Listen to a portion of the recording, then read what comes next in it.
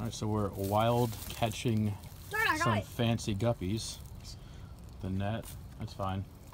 And uh, it's not where we thought it was. It's Ah, a bunch of all these rocks and about a bajillion tadpoles. Pretty cool tadpoles. That one on that rock, I think I just scared away. It's a pretty good way developed.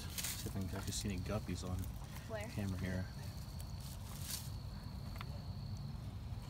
All the tadpoles. We've gotten a lot of the guppies. I'll show you the bucket later. There's a guppy right there. Red and blue male. Oh, there's a breeze. So, Chaz, I'm pretty sure this is nothing like what you go through in Peru, but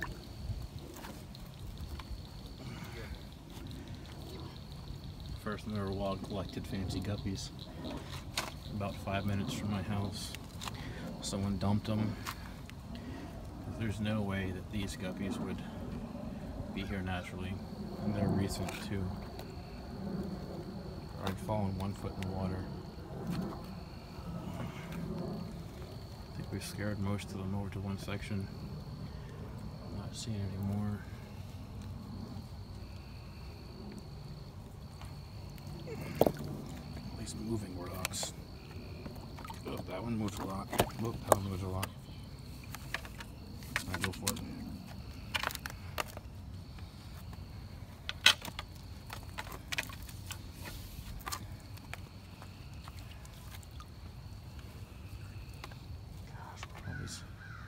There's some right there. Some females right next to that rock. The corner of that rock. But every time we go over there, it scares them away.